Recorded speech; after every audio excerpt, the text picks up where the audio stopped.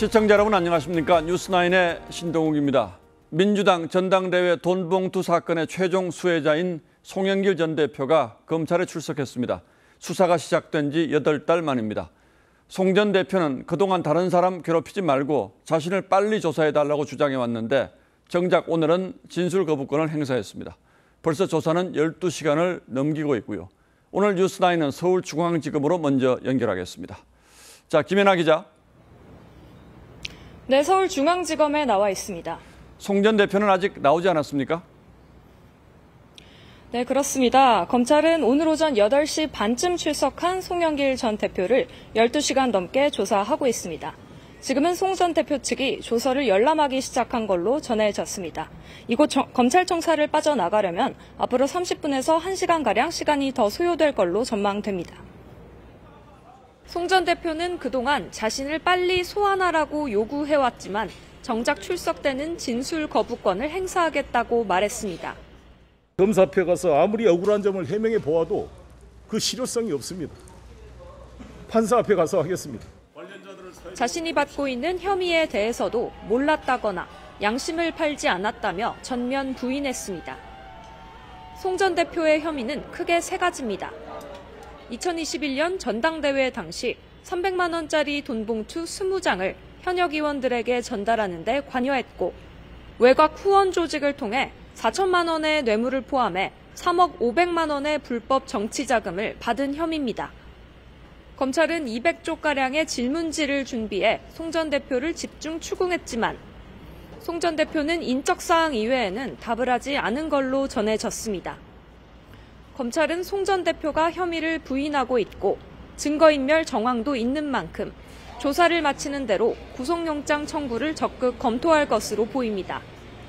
서울중앙지검에서 TV조선 김예나입니다. 이 사건은 사실 복잡할 게 없습니다. 아주 단순한 구조로 이루어져 있죠. 주장하는 금액의 차이는 있지만 다른 관련자들의 진술은 대체적인 사실관계는 이미 파악된 상태입니다. 불법 자금이 만들어졌고 이 돈이 몇백만 원 단위로 쪼개져서 의원들에게 전달됐다는 사실 말이죠. 그렇다면 이제 남은 수사는 어떤 게 있는지 김보근 기자가 취재했습니다. 돈봉투 수사의 시작은 불법 자금 수수 혐의로 구속된 이정근 전 민주당 사무부총장이었습니다. 하실 말씀 없으세요? 억울함 잘 밝히겠습니다.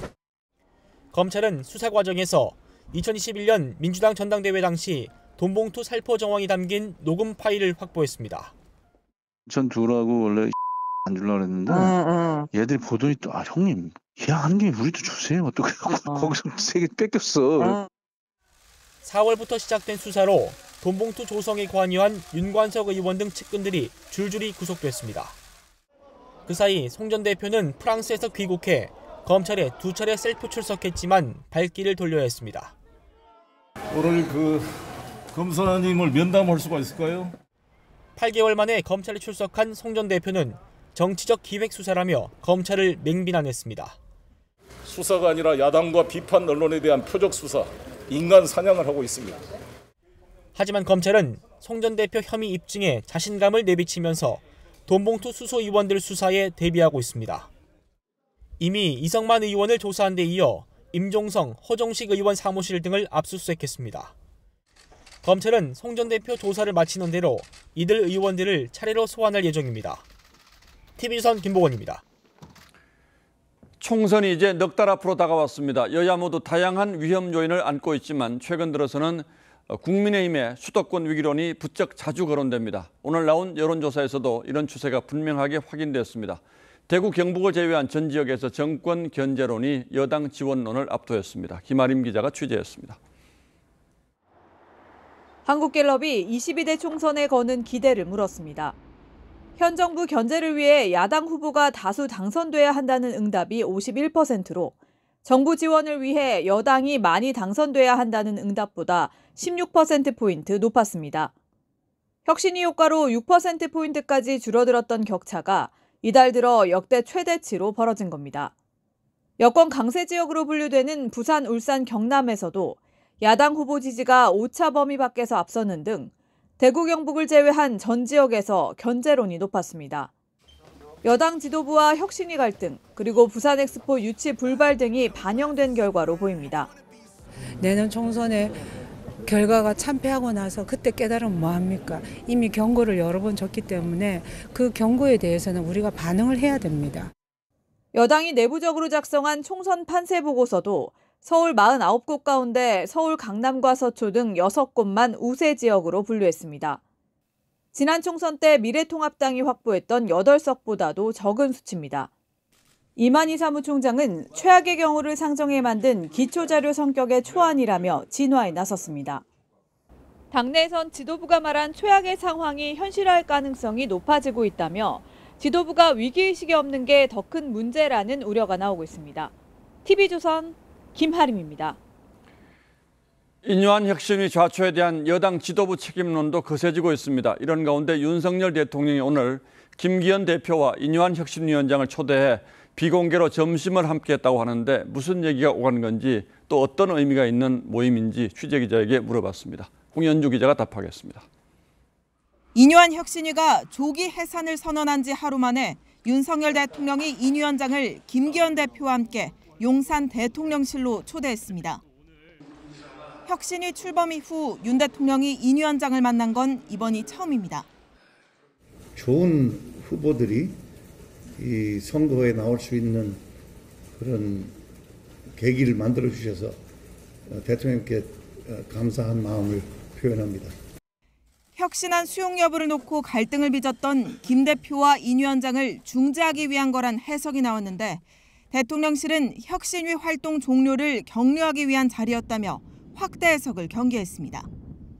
오늘 만남이 인유한 위원장 살리기라는 얘기가 나오고 있는데 이에 대해서 어떻게 생각하시나요? 다들 고생 많으시네요. 여권 관계자는 혁신위와의 만남은 원래부터 추진되어 왔지만 불필요한 오해를 막기 위해 활동 마무리 시점에 김 대표와 함께 만나게 된 것이라고 전했습니다. 앞서 윤 대통령은 인 위원장과 최소 두 차례 이상 직접 통화한 것으로 알려졌는데 소신껏 하라는 대통령의 신호가 있었다는 인 위원장의 지난달 발언도 이 같은 배경에서 나온 걸로 해석됩니다. 여권에선 혁신안들이 향후 국민의힘 공천 과정에서 추가적으로 반영될 가능성이 있다는 관측이 나옵니다. TV조선 홍현주입니다. 국회에서는 올해 정기국회 마지막 본회의가 열렸습니다. 여야는 조희대 대법원장 임명안을 통과시켰고 정정의 와중에 뒷전에 밀려있던 민생 법안들도 서둘러 처리했습니다. 하지만 대통령이 거부권을 행사한 노란봉투법과 방송 3법은 결국 폐기 수순을 밟게 됐습니다. 이재명 민주당 대표는 재판으로 본회의에 참석하지 못했습니다. 오연주 기자가 보도합니다. 대통령의 제의 요구로 재표결에 붙여진 노란봉투법과 방송 3법이 3분의 2 이상 찬성을 얻지 못해 부결되자 민주당은 곧바로 규탄 대회를 열었습니다. 거부권 남발하는 윤석열, 윤석열 대통령 규탄한다. 하지만 표결이 이루어졌던 본회의장에도 규탄 대회에도 이재명 대표는 없었습니다. 대신 이 대표는 오전 최고위원 회의를 마치자마자 공직선거법 재판에 출석했습니다. 김영무 원장 채찍근이나 입장에 변화 없으신가요? 김영무 원장 불법 이 대표는 매주 화요일은 대장동 재판에, 격주 금요일은 공직선거법 재판에 출석하는데 다음 달부터는 위증교사 재판도 시작돼 일주일에 최대 3일까지 재판에 나가야 합니다. 비명계에선 재판 리스크가 현실화됐다는 비판이 나왔습니다. 우리가 사랑했고 어, 우리가 알고 있던 그런 민상이 아니다. 음. 어, 그런 인식들은 다 갖고 계시는데 음. 이낙연 전 총리도 자랑스러운 민주당을 누가 훔쳐갔냐며 이 대표 체제로 총선을 치르기 어렵다고 본다고 지적했습니다. TV조선 오현주입니다. 예, 오늘 정치에 좀 관심 있는 분들에게 최대 화제는 내년 총선 서울에서 국민의힘이 강남 3구에서 6석을 얻는 데 그칠 거란 도표가 실린 신문 보도였습니다. 정말 그럴까요? 국민의힘을 취재하는 이태희 기자가 나와 있습니다. 자, 이 기자. 어, 국민의힘으로서는 최악이라고 했던 지난 총선보다 지금 상황이 더 어렵다는 거잖아요. 실제로 그렇게 판단하고 있습니까? 예, 아시다시피 지난 총선에서는 180석 대 103석 이 국민의힘의 전신 미래통합당이 참패했습니다. 지금은 그때보다도 여당에게 상황이 더 안 좋습니다. 지난 총선 직전 실시된 여론조사에서 당시 여당이었던 민주당 후보 당선을 바라는 여론은 49%, 미래통합당은 39%였습니다. 예. 그런데 오늘 발표된 조사에선 민주당이 51% 그리고 국민의힘이 35%입니다.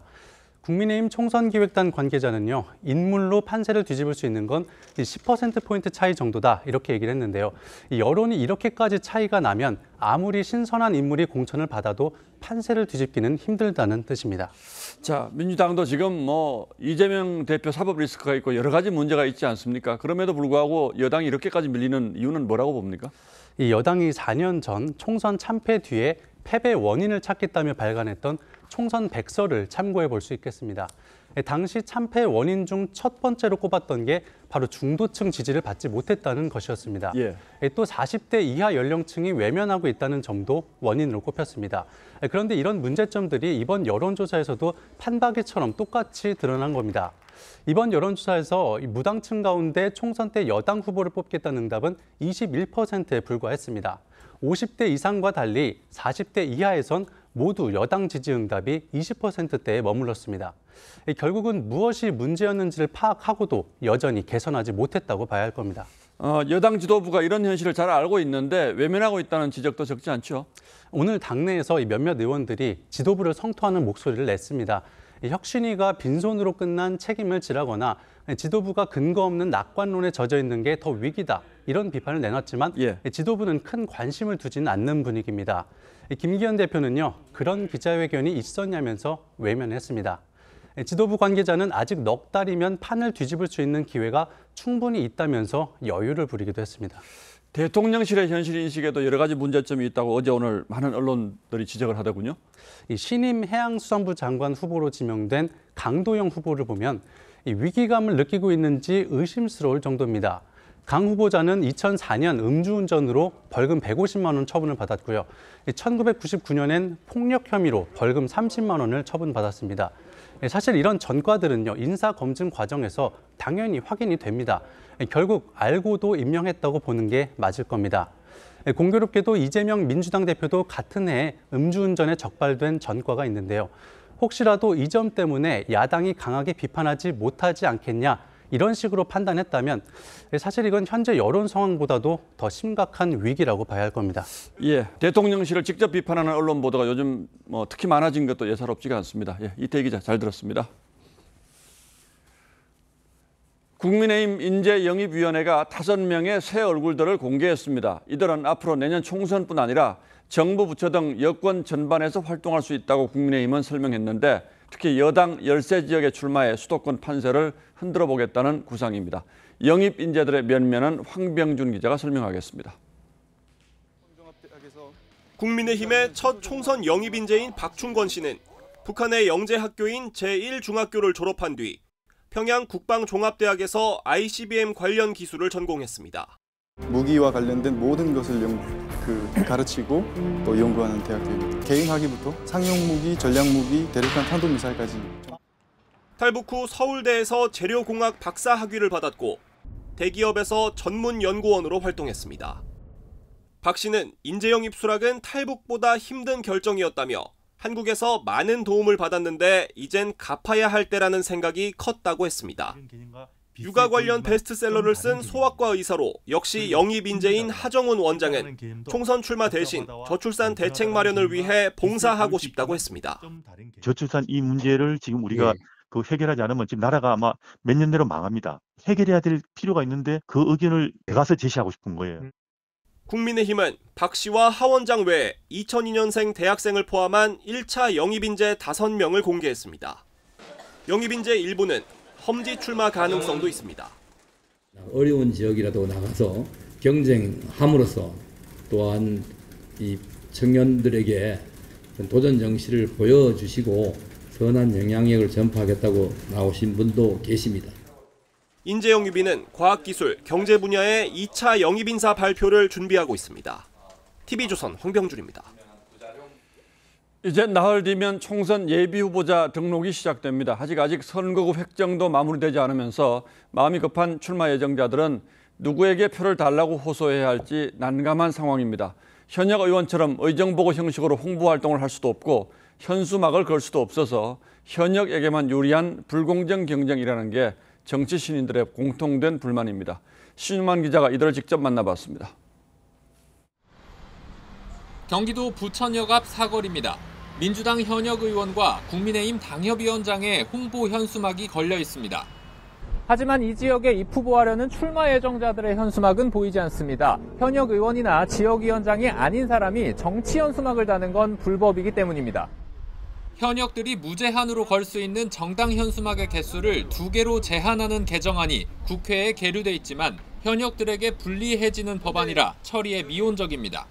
단속이 비교적 덜한 주말을 이용해서 쭉 걸어왔습니다. 근데 어김없이 월요일 되면 떼입니다. 근데 이거 너무 불공평하잖아요. 여야는 또 선거를 넉 달 앞둔 현재까지도 선거구 획정을 하지 않고 있습니다. 부천시처럼 선거구 조정 가능성이 있는 지역에선 어느 지역에 얼굴을 알려야 할지도 모르는 겁니다.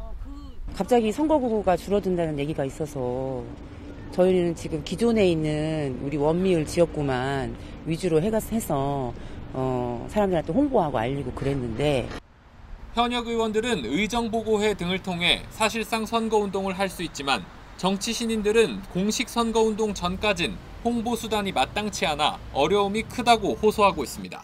TV조선 신유만입니다. 우리 기업들이 개성공단에서 철수한 지가 벌써 8년이 지났습니다. 그동안 북한이 비워둔 공장을 무단으로 가동한다는 뉴스는 간간히 전해드렸는데 그 규모가 최근 반년 사이에 3배 가까이 늘어난 것으로 파악됐습니다. 옷가지, 밥솥, 전자제품에 이르기까지 생산 품목도 다양한 것으로 알려졌는데 북한의 경제 사정이 그만큼 악화됐다는 뜻으로도 보입니다. 이태영 기자가 폐쇄된 개성공단의 위성사진을 입수했습니다. 지난달 촬영된 개성공단의 열감지 위성 사진입니다. 주변에 비해 온도가 4에서 5도 정도 높아 붉은색과 보라색으로 표시된 공장이 보이는데 조감도를 얹어보면 스마트폰 부품이나 철골, 의류 등을 만들던 시설들입니다. 가동을 하면 열을 발산하는데 플라스틱, 금형, 밥솥 공장 뭐 이런 거 가지고 지금 여러 가지 많이 하더라고요. 정부는 북한이 개성공단에서 무단 가동 중인 공장이 30여 개에 이른다고 밝혔습니다. 10여 개로 파악됐던 지난 5월 이후 반년 만에 3배 가까이 늘어난 규모입니다.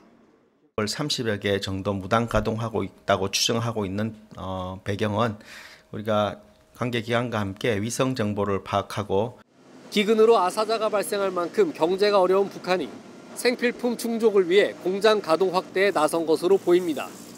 재산권을 침해하면서까지 공장을 가동해야 할 정도로 상당히 경제적으로 좀 어렵다라는 이제 징표이기도 하고 북한은 대북 전단 살포를 이유로 2020년 폭파했던 연락사무소 잔해의 철거에도 들어갔습니다. 개성공단 본격 가동을 위한 사전 작업과 함께 남북 협력의 선을 긋겠다는 의도란 분석이 나옵니다. TV조선 이태영입니다. 중국이 요소수에 이어 비료 원료의 수출도 통제하기 시작했습니다. 2년 전에도 중국의 수출 통제로 비료 품귀 사태가 벌어진 적이 있어서 농민들의 걱정이 이만저만이 아닌데 정부는 당장 큰 영향은 없을 것으로 판단하고 있습니다. 지선호 기자가 그 이유를 취재했습니다. 수도권의 농촌 지역 시금치, 부추를 재배하는 한 농민은 2년 전 요소 비료 품귀 사태를 직접 겪었습니다. 판매를 아예 1인당 농협에서도 한 폭밖에 안 줬어요. 수입이 중단됐다고 뭐 아예 뭐 팔지를 않던데요 뭐. 당시를 생각하면 지금도 아찔합니다. 당연히 힘들죠. 사지는 못하고 쓰긴 써야 되는데 당장 쓸 거는 없고 그럴 때는 진짜 힘들었죠. 그동안 비료용 요소는 중국 의존도가 많이 낮아져 최근 중국의 요소 수출 중단에도 큰 타격이 없었는데 중국이 요소에 이어 인산 암모늄까지 수출을 통제하면서 문제가 생겼습니다. 복합 비료를 만드는 데 꼭 필요한 원료로 중국산 의존도가 95% 이상입니다. 이 비료를 제때 주지 않으면 작물이 충분히 성장하지 못하게 됩니다. 비료를 판매하는 상인들은 가격 불안정을 우려하고 있습니다. 농사철 직전에 준비하는 과정에서 필요하고 또 짓는 과정에서 3월 이후서부터 이제 판매가 가능하지. 정부와 업계는 인산 암모늄 재고가 현재 약 4만 톤으로 내년 5월까지 수급에는 문제가 없다는 입장입니다. 철 시즌에만 비료가 공급이 잘 되면 그 이후에는 사용량이 그렇게 많지 않으니까 크게 문제가 없는. 다만 중국 내 수급 불안으로 중국 비료업계가 염화칼륨과 황산 암모늄 등 다른 원료 수출까지 막을 수 있다는 얘기도 현지에서 나옵니다. TV조선 지선호입니다. 입시 비리로 재판에 넘겨진 조국 전 장관 딸이 첫 재판에 나왔습니다. 조 씨는 혐의를 인정하면서도 검찰이 뒤늦게 자신을 기소한 건 부당하다면서 재판 무효를 주장했습니다. 법원이 이 주장을 받아들일지 윤태훈 기자가 취재했습니다. 입시 비리 첫 재판에 출석한 조민 씨는 쏟아지는 질문에 짧게 입장을 밝히고 법정으로 향했습니다. 반성하고 계십니까? 한 말씀 해주시죠. 재판에 성실히 참여하도록 하겠습니다. 감사합니다. 조 씨는 서울대와 부산대 의학전문대학원 입시에 허위 서류를 제출해 대학의 업무를 방해한 혐의를 받습니다. 조 씨 측은 혐의를 인정하면서도 검찰의 공소권 남용을 주장했습니다. 도주 우려도 없는데도 뒤늦게 기소해 권리를 침해당했다는 겁니다. 조 씨의 공소시효는 2021년 6월 만료였지만 공범인 어머니 정경심 전 동양대 교수가 대법원에서 확정 판결을 받은 작년 1월까지 2년 2개월 동안 정지됐습니다. 이후 검찰은 공소시효 보름여를 앞둔 지난 8월 조 씨를 기소했습니다. 검찰은 자의적인 기소가 아니라며 2만 쪽이 넘는 증거를 제출했습니다. 법조계 일부에서는 공소권 남용이 받아들여지는 경우는 거의 없다고 지적했습니다. 재판부는 조 씨가 혐의를 인정하는 만큼 다음 재판 기일인 내년 1월 말쯤 심리를 마무리하는 결심 공판을 열기로 했습니다. TV조선 윤태윤입니다. 메이저리거 김하성 선수와 옛 소속팀 후배 사이에서 벌어진 폭행을 두고 진실 공방이 가열되고 있습니다. 이 새로 드러난 정황은 코로나 당시 벌어진 위반 사항이 빌미가 됐다는 건데요. 관련해서 후배 측은 폭행 사진을 내놨는데 이게 또 가짜 의혹을 낳았습니다. 안윤경 기자가 양측의 주장을 들어봤습니다. 김하성 선수는 변호인을 통해 일방적이고 상습적인 폭행은 없었다고 주장했습니다.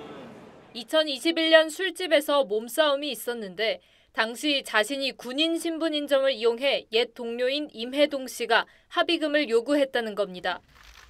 코로나 기간 집합 금지 의무를 위반하고 술을 마신 것이 확인되면 아시안 게임 우승으로 받은 병역 특례가 취소될까 걱정돼 4억 원을 줬다는 설명입니다.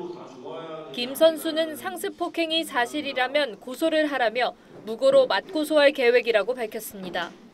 김 선수 측은 임 씨 측의 조작 사진 등 허위 사실 제보로 명예가 훼손됐다며 이에 대해서도 고소할 계획이라고 했습니다.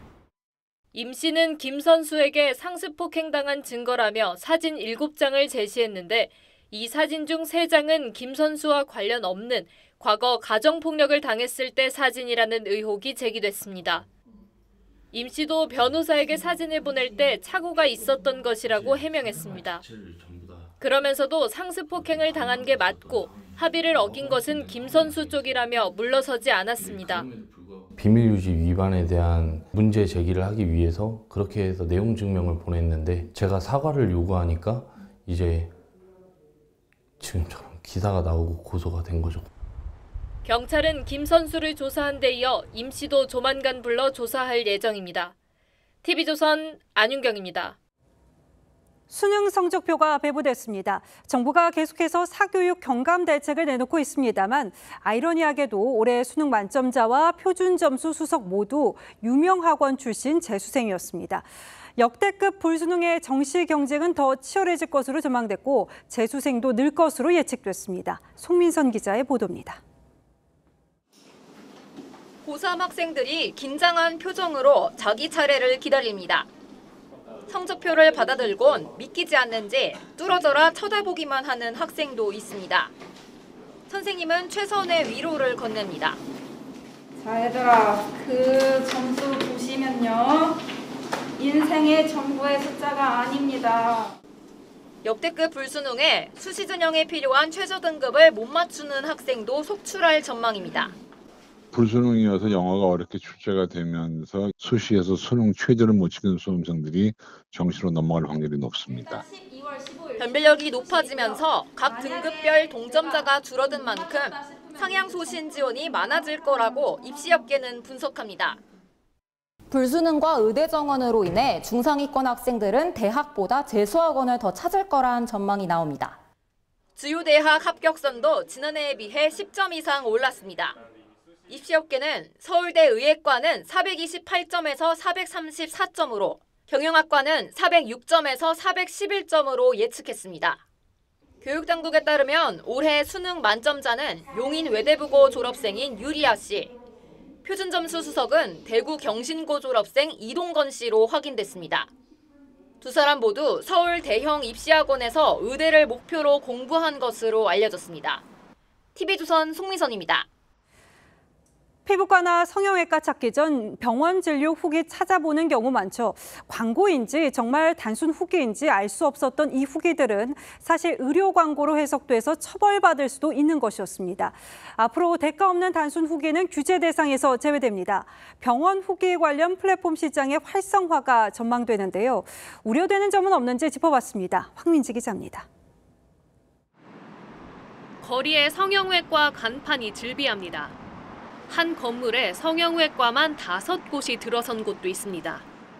병원이 많다 보니 환자들이 남긴 병원 후기가 선택에 큰 영향을 미칩니다. 인터넷 리뷰 같은 거 보고 찾아보거나 아니면 친구들한테 물어보고 하는 편인 것 같아요. 하지만 의료인이 아니면 의료 정보를 알릴 수 없다는 법 조항 때문에 후기를 썼다가 처벌받을 수 있었습니다. 소비자에 일방적으로 불리하다는 지적에 정부가 규제를 풀기로 했습니다. 내년부터 실제로 병원을 이용한 환자들의 후기는 온라인에 올리고 공유할 수 있게 됩니다. 대가를 받지 않고 전문적인 의료 행위를 포함하지 않으면 자유롭게 허용됩니다. 하지만 의료계에선 부작용을 우려합니다. 눈치를 보게 될 수밖에 없고 솔직히 병원에서 무방비로 당할 수밖에 없으니까요. 병원 문 닫는 경우가 생기는 거죠. 진짜.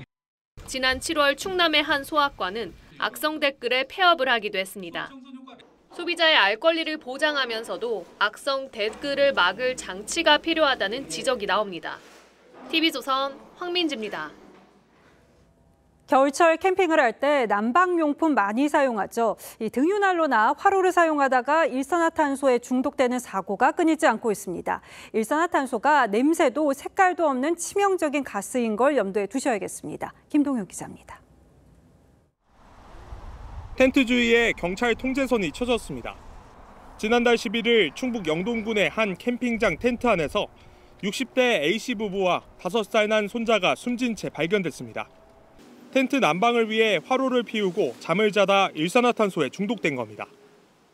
일산화탄소는 색도 냄새도 없는 기체라 무방비로 중독되기 쉽습니다.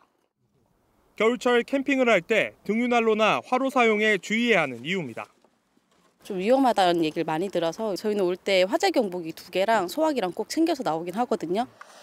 실제로 텐트 안에 불 피운 화로를 넣어 실험했더니 5분여 만에 일산화탄소 농도가 500ppm까지 치솟습니다. 25분이 지나자 2시간 안에 목숨을 잃을 정도인 5000ppm까지 오릅니다. 중독 사고를 예방하기 위해서는 텐트를 자주 환기시키고 가스 감지기를 준비해야 합니다. 항상 곁에 두고 뭐 주기적으로 환기를 하시는 방향으로 네, 진행하시면 될 것 같습니다. 2019년부터 3년 동안 텐트에서 발생한 일산화탄소 중독 사고는 모두 98건으로 이 가운데 5명이 숨졌습니다. TV조선 김동열입니다.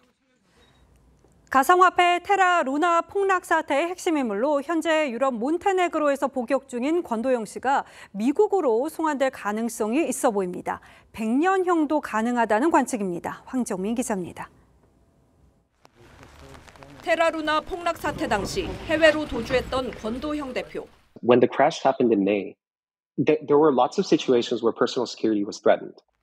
지난 3월 몬테네그로에서 위조 여권을 사용하다 덜미가 잡힌 뒤 4개월형을 선고받았습니다. 체포 직후 우리나라와 미국 모두 권 씨의 송환을 요청해 왔습니다. Težina krivičnog djela, e, mjesto izvršenja krivičnog djela, redosled zaprimanja zahtjeva za izručenje, kao i državljanstvo lica i druge okolnosti. 결정권을 가진 몬테네그로 당국은 권 씨를 미국으로 송환할 방침이라고 월스트리트 저널이 보도했습니다. 밀로비치 몬테네그로 법무장관이 미국 대사와 만난 비공개 자리에서 이 같은 내부 계획을 설명했던 겁니다. 테라루나는 지난해 99%나 폭락하며 전 세계 투자자들에게 50조 원의 피해를 입힌 것으로 추산되고 있습니다. 미국 검찰은 증권 사기, 주가 조작 등 8개 혐의로 발행사 대표인 권 씨를 기소했습니다. 권 씨는 형량이 낮은 한국행을 선호하는 것으로 알려졌습니다. 우리나라와 달리 미국은 형을 합산하는 방식이어서 이론적으론 100년 이상의 징역형도 가능하다는 관측이 나옵니다. TV조선 황정민입니다. 적은 돈으로 고가의 미술품을 사는 일명 조각 투자 들어보셨을 겁니다. 과거는 공동구매 형태였는데 이르면 연내에 증권 형태의 조각 투자 상품이 나올 전망입니다. 괜찮은 투자처로 봐도 될지 김창섭 기자 리포트 보면서 판단해 보시죠. 현대미술의 거장으로 불리는 쿠사마 야유이 작가의 호박 연작 시리즈. 한 미술품 조각 투자 업체가 2001년 작품을 기초 자산으로 이른바 토큰 증권, 증권 신고서를 제출했습니다. 그런 일반 대중들이 어, 고액 자산가들만 접근할 수 있었던 그런 자산에 좀 더 편리하고 어, 쉽게 접근할 수 있는 그런 어, 좋은 방편이라고 생각을 하거든요. 토큰 증권은 가상자산 형태의 증권을 발행하는 것으로 실물 자산을 기반으로 소액의 조각 투자를 할 수 있게 됩니다. 이 그림을 소유하려면 지금까지는 현금 12억 3천만 원을 내야 했지만 앞으로는 10만 원만 내면 증권 형태로 소유할 수 있습니다. 증권 신고서가 통과된다면 올해 안에 약 12,000주에 대한 청약이 시작되고 자본시장법 적용을 받아 기존 조각 투자보다 투자자에 대한 보호도 강화됩니다. 뉴스에서 이슈화되고 있는 것들이 있다면 관심이 많이 갈 것 같아요. 뭔가 좀 더 안정적인 자산 확보를 위해서 투자 개념으로 할 것 같습니다. 주의해야 할 점도 있습니다. 수수료가 높아지고 이 상품의 특성상 현재는 투자자들 사이에 거래가 불가능합니다. 또 미술품이 팔리기 전까지는 수익도 낼 수 없습니다. 금융감독원은 기존 발행 사례가 없어 투자에 주의해야 한다며 증권 신고서를 면밀히 검토하고 있다고 밝혔습니다. TV조선 김창섭입니다. 요즘 정전이 잦습니다. 이틀 전 울산에서 대규모 정전이 일었고 지난달에는 경기도에 있는 유명 놀이공원에서 정전이 발생해서 놀이기구가 멈추기도 했죠. 이 정전 사태의 배경에는 만년 적자 한전이 있었는데요. 앞으로가 더 걱정이라는 전망이 나옵니다. 장혁수 기자가 설명드리겠습니다. 신호등이 꺼지고 차들이 멈추면서 도로는 주차장처럼 변했습니다. 이틀 전 울산에서 발생한 대규모 정전으로 15만 가구가 2시간 동안 큰 불편과 피해를 겪었습니다. 원인이라도 알아야지 지금 되는데 모르겠어요. 신선식품, 뭐 아이스크림이나 이런 거다 녹고 있으니까요. 오늘 대지 작업을 했는데 작업한 거를 지금 냉장고에 넣어야 되는데 냉장고가 다 꺼져버리니까. 이번 정전은 한전이 설비를 수리하던 중 28년간 사용했던 절연 장치가 파괴되면서 벌어진 것으로 드러났습니다. 결국 한전이 노후 설비를 제때 수리하지 않아 생긴 일인데 한전은 신재생에너지 구입과 한국에너지공대 등에 큰 돈을 쓰면서도 송변전, 배전 투자비는 꾸준히 줄여왔습니다. 그 결과 지난해 933건의 정전이 발생해 4년 만에 84%가 늘었고 정전 후 복구까지 걸리는 시간도 길어졌습니다. 지난달에는 경기도 곳곳에 정전이 발생해 놀이기구가 공중에 멈춰서기도 했습니다. 선제적으로 교체를 했어야 되는데 뭐 한전의 적자 너무 크다 보니까 그 운영 관리비나 이렇게 교체비 이런 거를 대폭 줄이고 있는 상황이거든요. 200조 부채를 안고 있는 한전이 자구체계 일환으로 전력시설 건설과 전력망 투자를 줄일 계획이어서 앞으로 정전이 더 빈번해질 것이라는 우려가 나옵니다. TV조선 장영수입니다. 정부가 종종 이웃 간의 강력 범죄로도 이어지는 아파트 층간 소음 문제를 해결하기 위한 강도 높은 대책을 곧 발표한다고 합니다. 어떤 내용인지 정수양 기자가 미리 알아봤습니다. 지난해 7월 술에 취한 20대 남성이 아파트 윗집에 사는 80대 노인을 흉기로 살해했습니다. 층간 소음이 이유였습니다. 화가 나가지고 층간소음 세부적인 또 내용은 좀 어제 기억이 잘 안 난다. 2019년부터 국토부에 접수된 층간소음 민원도 22만 건에 달하는데 매년 늘어나고 있는 추세입니다. 경찰 신고도 하루 평균 100건 정도 이뤄집니다. 신랑하고 심시고 네. 여자나 이런 데다 껴놓고 조그만 소리에도 내가 피해를 줄까 그러니까 피해를 입을까 음. 걱정이 되는 부분이 있어요. 정부는 아파트 완공 이후 층간 소음 차단 성능을 검사하는 사후 확인제를 지난해 도입했지만 의무가 아닌 권고에 불과해 한계가 있었습니다. 국토부가 조만간 발표할 고강도 추가 대책은 층간소음 기준을 못 맞출 경우 아예 준공 승인을 해주지 않는 방안까지 포함될 것으로 전해졌습니다. 또 공사 중간에도 층간소음 기준을 지키는지 점검하고 검사 표본도 5%까지 확대할 예정입니다. 문제는 층간소음 대책이 강화되면 공사비가 오르고 분양가 역시 더 상승할 거란 점입니다. 바다 두께가 좀 증가가 된다든지 뭐 층간 소음제가 이렇게 설치가 되게 되면 당연히 이제 공사비 증가가 될 수밖에 없습니다. 정부는 층간 소음 대책안을 이달 중 발표합니다. TV조선 정수양입니다. 자, 그렇다면 층간소음 이 대책으로 충분할지 또 실효성은 있을지 따져보겠습니다. 홍영 기자, 사실은 좀 늦은 감이 있습니다. 문제가 심각했었잖아요. 네, 맞습니다. 정부가 이런 강도 높은 대책을 준비한 건 그만큼 층간소음이 사회 문제로 이어지는 심각한 상황이라는 판단 때문입니다. 예. 층간소음 갈등이 살인이나 폭력 등 강력 범죄로 이어진 경우는 2016년 11건에서 2021년 110건으로 5년 사이에 10배로 늘었습니다. 중지를 요청할 수 있는 환경부사나 전담기관에는 최근 3년간 2만 7천 건이 넘는 민원이 접수됐는데요. 대부분은 전화 상담만 하고 끝났고 실제로 소음 측정까지 실시한 경우는 3.7%뿐이었습니다. 어, 층간소음 기준을 충족하지 못하면 아예 준공 허가를 내주지 않겠다는 거잖아요. 건설사들 입장에서는 상당히 부담이 되겠는데요. 네, 맞습니다. 우선 바닥 시공에 들어가는 공사 비용이 늘어나고요. 예를 들어 같은 높이일 때 기존 공법으로 30층까지 올릴 수 있었다면 바닥이 두꺼워지면 29층까지밖에 지을 수가 없어서 건설사가 손해를 볼 수밖에 없습니다.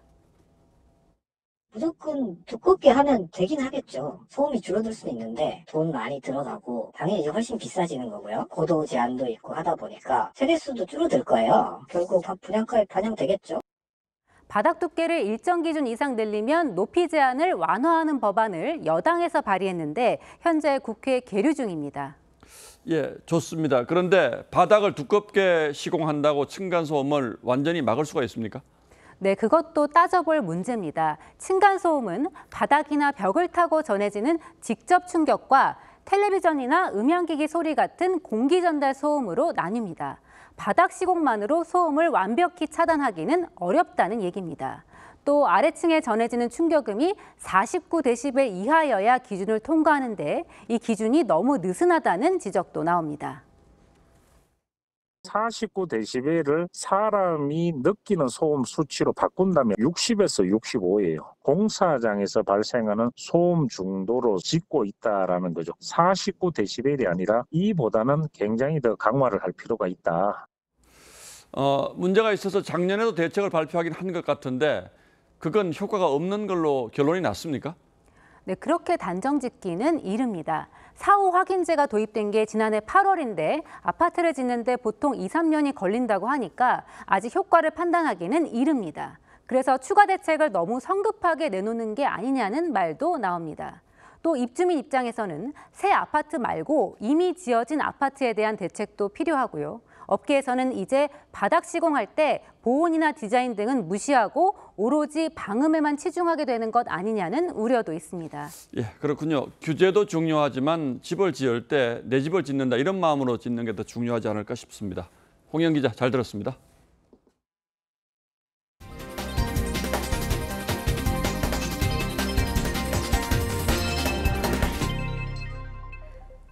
미국과 일본의 안보수장이 한국을 찾았습니다. 오늘부터 이틀 동안 한미와 한일 그리고 한미일 3국 안보실장 회의가 연쇄적으로 열리는데요. 한미 안보실장이 삼성이나 구글과 같은 첨단 기업 임원과 신흥 기술을 논의하는 자리도 마련됐다고 합니다. 이게 어떤 의미를 담고 있는지 김충영 기자가 설명드리겠습니다. 삼성과 SK, 현대차, LG는 물론 미국의 구글, IBM 등 양국의 대표 기업 고위 임원들이 한자리에 모였습니다. 반도체와 양자 기술, AI와 배터리 등 신흥 기술 분야에서 함께 연구하고 경제 안보에 기반한 기술 협력을 강화하겠다는 목표입니다. 냉전 시대 한미 동맹은 군사 동맹이었습니다. 현 복합 위기 시대에서는 기술 동맹으로 진화하고 있습니다. Korean and American businesses and workers across both our nations who continue to demonstrate the unlimited economic potential of this alliance. 이번 포럼은 지난 4월 워싱턴 한미 정상회담 합의에 따른 것으로 올해 미국과 이 같은 협의를 한 나라는 인도와 싱가포르에 이어 한국이 세 번째입니다. 앞서 한미 안보실장 회의도 열렸는데 양국은 한국이 9.19 군사합의 일부를 효력 정지한 것에 대해 신중하고 절제된 조치라는 데 의견을 같이 했습니다. 한일 안보실장은 북한의 전례 없는 도발이 국제사회 전체에 위협이 되고 있다며 핵과 미사일 도발에 대한 공조를 강화하기로 했습니다. 내일은 지난 8월 한미일 캠프 데이비드 정상회의의 후속 조치로 3국 안보실장 회의가 열립니다. TV조선 김충영입니다. 내년 초 개봉을 앞둔 스페이스 오페라 대작 듄 시리즈의 감독 드니 빌레브가 우리나라를 찾았습니다. 올 연말부터 이어지는 대작들의 연속 개봉에 극장가도 모처럼 기대감에 가득 찼습니다. 장동욱 기자입니다. 광활하고 황량한 사막의 세계에서 역경을 뚫고 성장하는 주인공의 일대기. 장엄한 영상미와 연출로 광팬들을 만들어낸 듄 시리즈의 감독 드니 빌네브가 2편 개봉을 앞두고 15년 만에 방한했습니다. 국내 개봉에 두 달이나 앞서 이례적으로 일찍 찾아온 데다 주요 장면들을 직접 보여주며 공들여 프레젠테이션까지 진행했습니다. Uh, I heard about the uh, Tunjinja, or, or, yeah, moving for me to know that uh, there are some people here that love the, the movie that much. 영화관은 몰입도를 증가시킵니다. Uh, I think that the theatrical experience, a movie that uh, uh, is much more, I will say, immersive than than uh, uh, part one.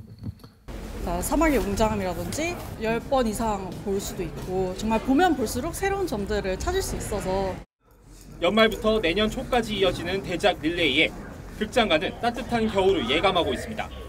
12, 11을 다룬 서울의 봄이 신드롬을 일으키며 500만 관객 고지를 넘겼고 이순신 장군의 마지막 전투를 그려낸 노량 역시 큰 기대와 함께 이달 개봉을 앞두고 있습니다. 늘어선 블록버스터 라인업이 영화 관객 회복의 계기가 될지 관심이 쏠립니다. TV조선 장동우입니다. 올해 PGA 다승환 욘 람이 사우디 리브 골프로 옮겼습니다. 오일머니를 앞세운 중동이 굵직굵직한 국제 스포츠 대회들까지 싹쓸이하고 있습니다. 성민혁 기자입니다. 호쾌한 장타력으로 지난 시즌 PGA 다승왕을 거머쥔 욘 람이 사우디 국부 펀드가 후원하는 LIV 골프 점퍼를 입고 등장합니다. I think the innovation in, in the vision of LIV Golf is what pushed me over to. 이적 계약금은 무려 6,500억 원. 작년 PGA 47개 대회 전체 상금보다 많습니다. 중동의 스포츠 독식 어제 오늘 일이 아닙니다. 최근 월드컵을 치렀던 카타르에선 당장 다음 달부터 축구 아시안컵이 시작됩니다. 사우디가 개최할 다음 대회까지 아시안컵은 3회 연속 중동에서 열립니다. 2034년 월드컵을 확정 지은 사우디는 이미 자국 프로축구에 호날두와 벤제마 같은 세계적인 스타들을 영입했습니다. Ça montre aussi que, que l'Arabie saoudite commence à monter de plus en plus au niveau, au niveau mondial. 어젠 농구 아시안컵 유치까지 확정해 종목별 대륙 대회는 물론 아시안 게임 등 종합 대회들까지 사우디의 위세가 대단합니다. 비결은 천문학적인 돈이지만 스포츠로 어두운 이미지를 세탁한다는 스포츠 워싱 논란은 끊이질 않습니다. 특히 사우디는 반체제 인사를 감금하고 여성 인권을 탄압한다는 비판을 받고 있습니다. It is also going to be bad for everyone else, for journalism, for for women, and for for uh, people of LGBT backgrounds. All of these people who have been facing severe repression by the Saudi authorities. 사우디 빈살만 왕세자는 GDP가 1% 늘어난다면 계속 스포츠 워싱을 할 거라고 말했습니다. TV조선 성민혁입니다. 장편 소설 아무것도 아닌 빛을 쓴 소설가 정영선이 제54회 동인문학상을 수상했습니다. 심사위원단은 이 작품이 한국 현대사의 질곡을 품은 노인들의 모습을 통해 삶이 지닌 희미한 빛을 잘 그려냈다고 평가했습니다. 동해문학상은 소설가 김동인을 기리기 위해 1955년 제정한 상으로 지금까지 조세희, 박완서 등의 수상자를 냈습니다.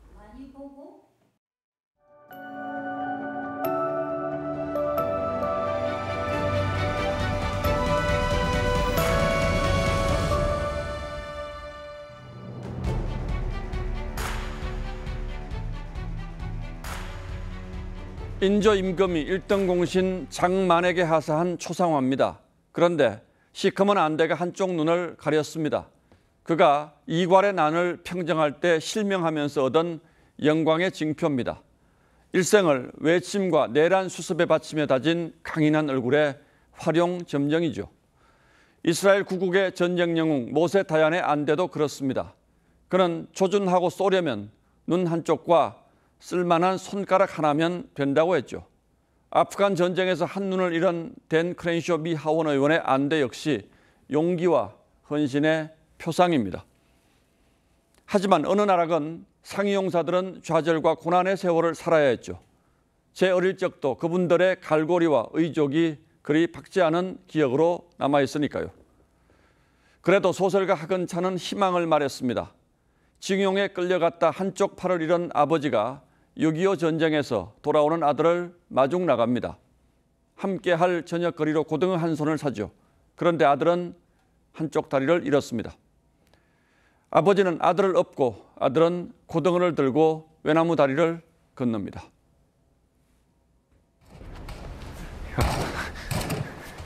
정체를 어? 참수리오 윤양아 정장이 적탄에 숨지자 이희환 중위가 두 다리에 총상을 입은 채 전투를 지휘합니다. 정장님 지휘권이 투박했습니다. 연평해전을 승리로 이끈 영웅 이희환 대령이 보훈부 차관에 임명됐습니다. 한쪽 다리를 잃은 전사는 이제 모든 호국 영웅을 위해 뛰는 새 출발선에 섰습니다. 그분들이 정당한 대우를 받고 왜곡된 시선에 상처받지 않도록 챙기겠다고 했습니다. 하지만 연평의 용사들은 끊임없이 상처받았습니다. 특정 세력은 과잉 대응해서 북이 도발했다. 승전이 아니라 패전이라고 모독했습니다. 여섯 순국 영웅을 추모하는 해상 위령제는 3년 만에야 열렸습니다. 전사 일시와 장소만 한 줄 새겼던 묘비에 해전과 순국, 수훈 기록을 넣는데 8년이 걸렸습니다. 서해교전이라는 이름은 이명박 정부 들어서 제2연평해전이 됐습니다. 그리고 지난해 처음으로 승전 기념식을 열었습니다. 서로 전쟁을 했다는 교전이 승전이 되기까지 20년이 걸린 겁니다. 시인의 아버지는 6.25 상위용사였습니다. 목수였던 아버지를 사람들이 함부로 대하는 게 아들은 가슴 아팠습니다. 아버지가 대패질을 하시던 창가에 단풍나무 씨앗이 내렸습니다. 날개 하나가 우리 아버지 전장에 묻힌 오른팔은 아닌지 외팔 빈소매가 당신 날개였음을 나라 위에 전쟁의 상처를 짊어진 분들이 소외되는 나라는 나라라고 할 수 없습니다. 상위용사가 대령에서 차관으로 도약한 것만으로도 그분들에겐 작지 않은 위안이 될 겁니다. 많은 사람을 감동시켰던 이희완의 마라톤 의족이 보훈 입국을 든든하게 떠받치는 또 하나의 버팀목이 되주리라 믿습니다. 12월 8일 앵커의 시선은 다리 잃은 전사 차관되다였습니다.